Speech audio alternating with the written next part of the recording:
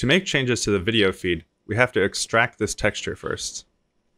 So in the camera, we can extract the texture here, and that makes camera texture. But it doesn't do anything until we apply it to something, so we need to add a canvas and then a rectangle. So in the focal distance, we'll add a canvas.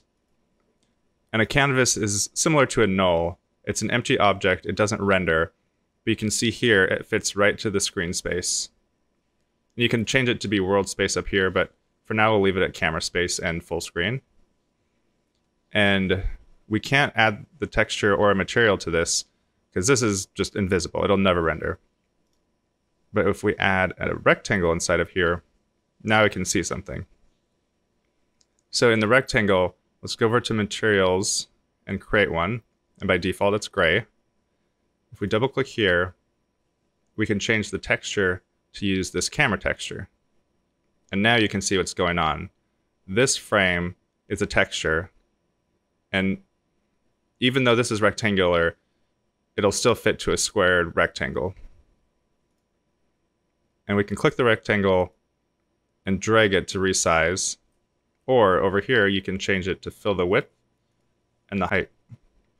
So now you can see it's all the same, but it's a little darker than the actual video. If we turn this down and up, it looks like it's max brightness. But if we scoot it over, you can see this is a lot brighter than this. That's because this material is a standard and not flat.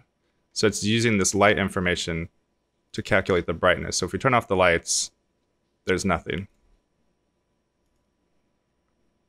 But a lot of times you don't have to want to rely on the lights if you're just using a texture like this that you want to be full brightness.